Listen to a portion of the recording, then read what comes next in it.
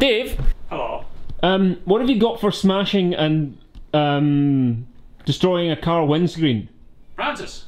Uh, Uh, hammer? um, we're going to need something a little bigger. Yeah, now we're talking. Okay, bigger than that even.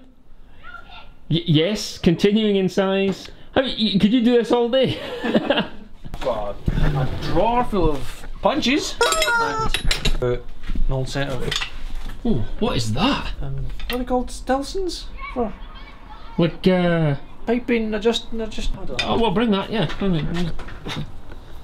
Oh, okay, it's heavy. I think I just shot myself.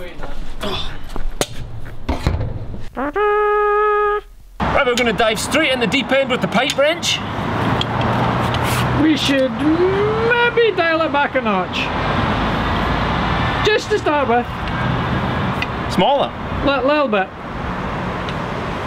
All right. How about that? Eh, a little bit bigger. Bigger than that. Okay. Mallet. That'd be a good start. Perfect. Okay.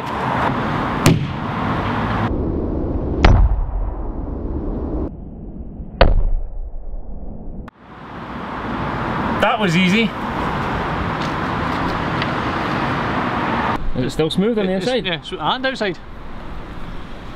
Yeah. Should only crack the inside. So it's, that's got a circle of damage there, a little crack up at the top. Crease, yeah, crease point there. That'll do. That was really, really easy.